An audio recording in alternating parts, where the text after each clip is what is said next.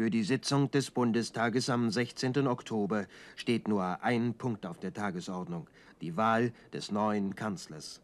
Einziger Kandidat ist Professor Dr. Ludwig Erhard. Die Entscheidung fällt im ersten Wahlgang. 279 Stimmen für Ludwig Erhard, 29 Stimmen mehr, als das Grundgesetz fordert. Bundestagspräsident Gerstenmaier verkündet das Wahlergebnis. Dann wendet er sich an den Abgeordneten Erhard. Ich frage Sie, Herr Abgeordneter Professor Erhard, nehmen Sie die Wahl an? Ich nehme die Wahl an. Am Nachmittag dieses Tages leistet der neue Kanzler, der vorher vom Bundespräsidenten die Ernennungsurkunde erhalten hat, den Eid auf das Grundgesetz. Ich schwöre, dass ich meine Kraft dem Wohle des deutschen Volkes widmen, seinen Nutzen mehren, Schaden von ihm wenden, das Grundgesetz und die Gesetze des Bundes wahren und verteidigen, meine Pflichten gewissenhaft erfüllen und Gerechtigkeit gegen jedermann üben werde. So wahr mir Gott helfe.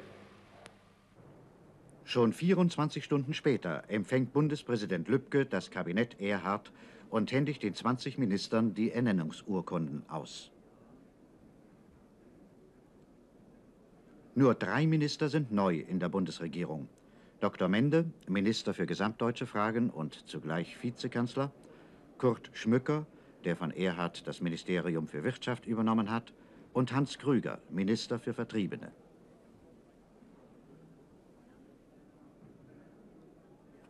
Einen Tag vor der Kanzlerwahl hatte sich das Parlament von Konrad Adenauer verabschiedet. Die Laudatio Dr. Gerstenmeyers auf den Kanzler schließt mit einer Erinnerung an den Amtsantritt Dr. Adenauers. Damals standen Sie auf und traten vor das Haus. Heute steht der Deutsche Bundestag vor Ihnen auf, Herr Bundeskanzler.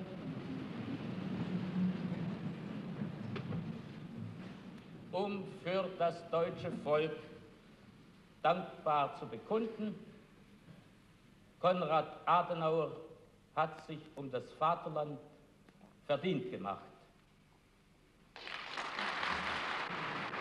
Adenauer dankte den Abgeordneten für die Ehrung und für die 14 Jahre gemeinsamer Arbeit.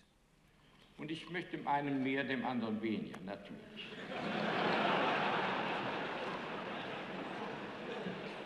Aber ich möchte Ihnen allen danken.